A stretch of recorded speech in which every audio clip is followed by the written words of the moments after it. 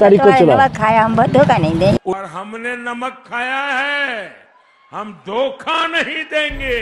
PM Modi ने इस एक महिला बुज़ुर्ग का उल्लेख अपने भाषण में किया है तो इसकी एक बड़ी वजह है। मोदी कोई काम या कोई बात बिना वोट के फ़ायदे के नहीं करने वाले हैं। मोदी के नमक वाले बयान की असलियत जानकर आप भी हैरान हो जाएँगे। देश की आधी आबादी मोदी से कितनी निराश है और मोदी के लिए उनके मन में कितना गुस्सा है ये यूपी के गाँव गाँव में जा रहे पत्रकार और नेताओं को खूब अच्छी तरह मालूम है। मोदी ने कुछ नहीं करा। योगी ने कुछ करा। इस आधी आबादी का एक बहुत बड़ा हिस्सा भाजपा से नफरत करने लगा है। हालत यह है कि महज भाजपा और मोदी से जोड़कर कुछ सवाल पूछने पर ही ये हालत हो जाती है। और तुम मोदी की सरकार के आई गई मत ले जाओ हटा ले जाओ हटा और राशन तो दाओ सुबह पैसे कैसे ले जाओ नहीं चाहिए पर नौ नम दे दो कांच नौ नम दे दो कांच और गैया पूरी रात रखा ठंड में जो ओ दम और तुम मोदी की सरकार के आई गई यहाँ मत ले जाओ हटा मोदी प्रसन्न होते हुए कहते हैं कि महिला बुज़ुर्ग ने कहा है कि हमने नमक खाया है, इसलिए धोखा नहीं देंगे। मगर उन बुज़ुर्ग महिलाओं को भी मोदी सुन लेते जो कह रही हैं कि जो नमक आ रहा है इसमें शीशा मिला है नमक में मिले कांच खाकर लोग बीमार हो रहे हैं इसलिए लोगों में मोदी योगी और भाजपा को लेकर भयंकर गुस्सा नाराज़गी है शीशा नमक में घोर के देख लो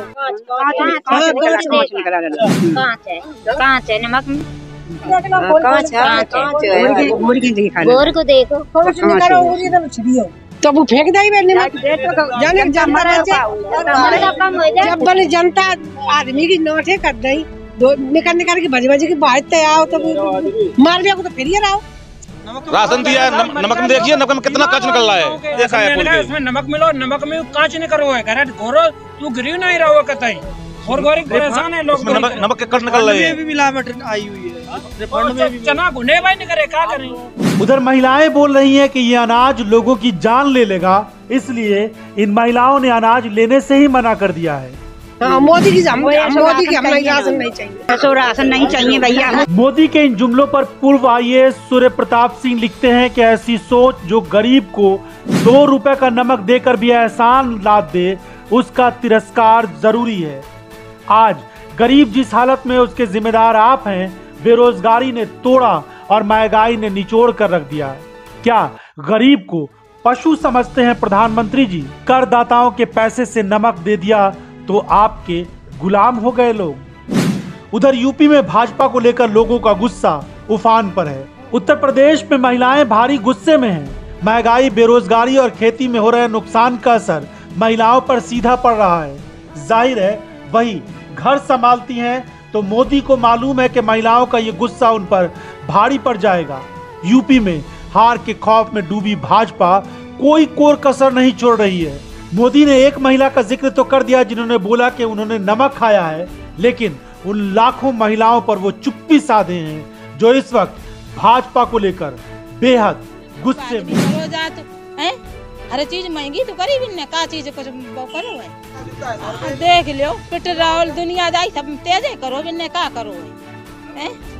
कहूँ बीमारी कर रहे हैं कहूँ कुछ कर रहे हैं बताओ तुम्हें। किसान आदमी रात भर पूरे रात गैया रखा रहो है। बताओ कांच में निरो नमक दे रहे हैं। नमक दे रहे राशन पूरा ना दे रहे जो गरीब आदमी मरे जा रहे हैं। हैं? ये बेचारे क्या करें पढ़ा लिखा ना पा रहे इन्हें पूछो। गरीब के लिए कुछ कर रहे हैं अगले चौदह सौ की कद है बोरी। और ब में गेहूँ कद है हज़ार रुपया। सो हाँ और राशन तो दो सुबह पैसे तैसे ले जाना चाहिए। नौ नम दे दो कांच। नौ नम दे दो कांच। और गैया पूरी रात रखा ठंड में जो ओ दम और तुम मोदी की सरकार के आई गई यहाँ मत ले जाओ, हटा।